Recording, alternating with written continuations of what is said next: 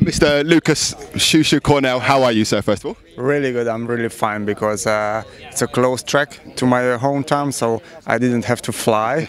so I'm much more uh, slept. Yeah, that's that's all good. I think I had 11 hours sleep last night, so I know how you feel. Um, of course, you've had a lot of experience testing the Pantera here. You've um, raced here in the test event back in, I think it was May.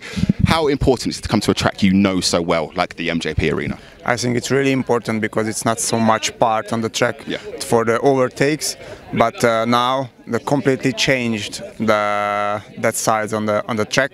So it will be a bit different, but I already have a test in this, so believe me, it will be really fun. And you just said you've already tested on the new track uh, track setup. How different is it to the May? Can you talk us through the jump? Can you talk us through the wider the wider third turn over there? How what are the big changes for you?